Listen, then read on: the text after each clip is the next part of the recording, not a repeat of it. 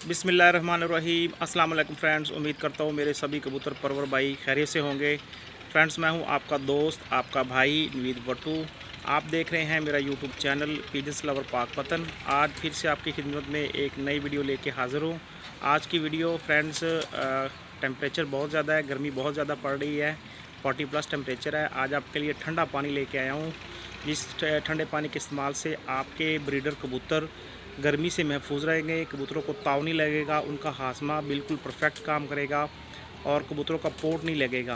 بہت سے دوستوں کے میسج آ رہے تھے کہ ہمارے کبوتروں کے پورٹ لگ رہے ہیں اور کبوتر دانہ پانی نہیں کھاتے۔ تو فرینڈز آج کل گرمی بہت زیادہ ہے forty two forty three plus temperature ہے۔ تو جس کی وجہ سے کبوتروں کو تاؤ لگ جاتا ہے، کبوتر گرمی کا شکار ہوتے ہیں۔ تو ایسے میں ایک ویڈیو میں آپ کے لیے لے کے آیا ہوں، ٹھنڈے پانی کا نسخہ، جس کے استعمال سے کبوتروں کو نہ ہی گرمی محسوس ہوگی، آپ کے بریڈر کبوتروں کو نہ ہی تاؤ لگے گا اور ان کا ہاضمہ بالکل پرفیکٹ کام کرے گا، ان کا ہاضمہ ٹھیک رہے گا اور کبوتروں کا پورٹ بھی بند نہیں ہوگا۔ تو چلیے دوستو، آپ کو نسخے نسخے کی طرف لے کے چلتے ہیں۔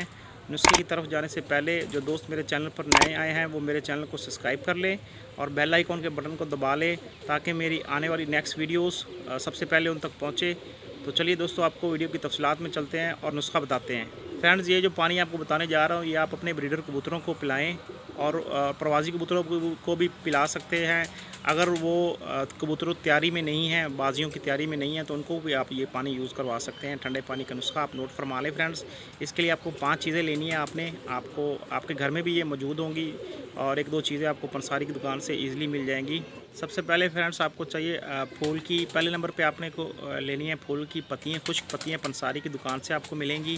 اور دوسرے نمبر پہ آپ نے لینے ہیں سونف سبز سونف آپ کو چاہیے اور تیسرے نمبر پہ آپ کو چاہیے چھوٹی الائچی، چوتھے نمبر پہ آپ نے سفید زیرہ لینا ہے اور پانچویں نمبر پہ آپ کو پودینہ چاہیے۔ یہ پانچ چیزیں آپ نے لینی ہے پانی کا استعمال۔ اب آپ نے پانی بنانا کس طرح ہے فرینڈس ڈیڑھ لیٹر آپ نے سادہ پانی لینا ہے اور اس میں آپ نے چائے کی چمچ اس کا آدھا، آدھے، آدھا چمچ آپ نے فرینڈز گلاب کی پتیاں اس میں ڈال دینی ہیں اور آدھا ہی چمچ آپ نے سونف اس میں ڈال دینی ہے اس ڈیڑھ لیٹر پانی میں اور دس جو چھوٹی الائچی ہیں وہ آپ نے اس میں ڈال دینی ہے فرینڈز اور آدھا چمچ اس فیض زیرہ ڈال دینا ہے آپ نے اس میں اور جو پودینے کے پتے ہیں فرینڈز یہ آپ نے بیس سے پچیس پتے آپ نے توڑ کے وہ بھی اس میں ڈال دینے ہیں اور اس پانی کو آپ نے بوائل کرنا ہے، ہلکی آنچ پہ اس کو آپ نے پکانا ہے اس کو اور جب یہ پانی ڈیڑھ لیٹر سے ایک لیٹر رہ جائے، تو تب آپ نے اس کو اتار لینا ہے فرینڈز، اور اس کو ٹھنڈا کر لینا ہے، اس کو چھان کے کسی بوتل میں محفوظ کر کے رکھ لیں۔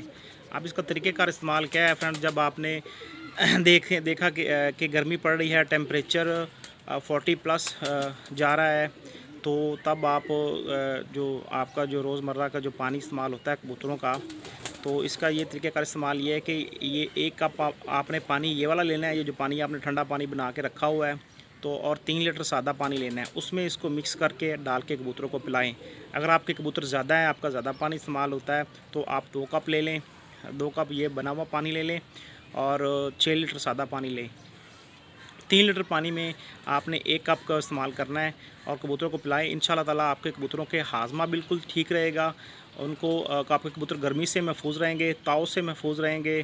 اور کبوتروں کے پورٹ بند نہیں ہوں گے اور آپ کے کبوتر چھوٹے موٹے انفیکشنوں سے اور بیماریوں سے بھی محفوظ رہیں گے اور آپ کے کبوتر ان شاء اللہ تعالیٰ بہت ہی زیادہ ہیلدی رہیں گے۔ جب جب گرمی آپ کو محسوس ہو تب تب آپ یہ پانی، ٹھنڈا پانی استعمال کروائیں، آپ کے کبوتر بالکل صحت مند رہیں گے۔ جی دوستو، امید کرتا ہوں ویڈیو آپ کو پسند آئی ہوگی۔ ویڈیو پسند آئی ہوگا تو ویڈیو کو لائک شیئر کیجیے گا۔ اپنے دوست بٹو کو اجازت دیجیے۔ انشاءاللہ بہت جلد نیکسٹ ویڈیو کے ساتھ ملاقات ہوگی۔ تب تب تک کے لیے اجازت چاہتا ہوں۔ اللہ حافظ۔